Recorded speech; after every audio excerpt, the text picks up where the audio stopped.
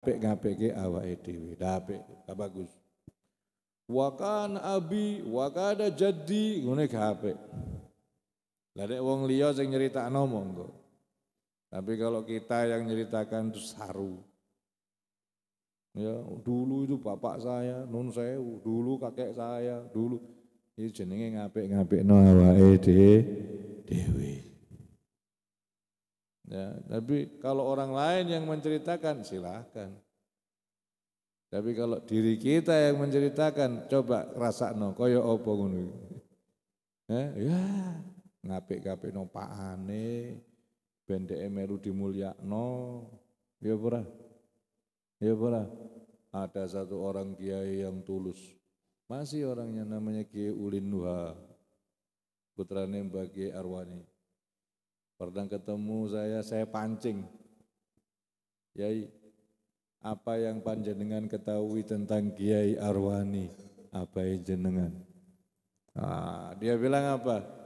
Boten ngertos kula. Nalika niku kula tasih mondok. Jadi kula boten ngertos. Haji. Masya Allah orang ini tidak bisa dipancing. Tidak bisa dipan, dipancing. Biasanya orang kalau dipancing kayak gitu tuh langsung. Jadi kan, Masya Allah, jadi kan putra Kiai Fulan. Nggih. Pripun pripun ceritane Kiai Fulan pripun? Wuh, langsung keluar semua. Wa kana radhiyallahu anhu. Ngono, ya. Ha? Wa kana radhiyallahu anhu. Eh? Mangan ning warung. Eh, katokan cekak. Wa kana radhiyallahu anhu. Tidur kalau pagi tidak pernah bangun kecuali sudah terbit matahari. Astagfirullah. Itu orang-orang itu orang-orang yang kepingin dipuji dengan kebahagiaan, dengan ketinggian orang tuanya. Triton, reces. Tapi Kiai Ulin tidak.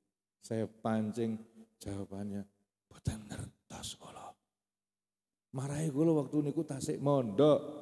Jadi saya tidak tahu bagaimana abah saya. Hebat orang ini, gak iso, di, gak iso dipancing. Kalau kiai-kiai yang lain langsung rocos nyeritakno bapak eh cerita bayi wakana jadi wakana wakana mbahku wakana nenekku nenek eh no. Masya Allah ini dikritik di dalam Al-Quran itu adalah perbuatannya orang Yahudi. Nahnu Allah wa kami ini orang-orang mulia. Kami ini datuk-datuk kami ini orang-orang mulia. Itu orang Yahudi.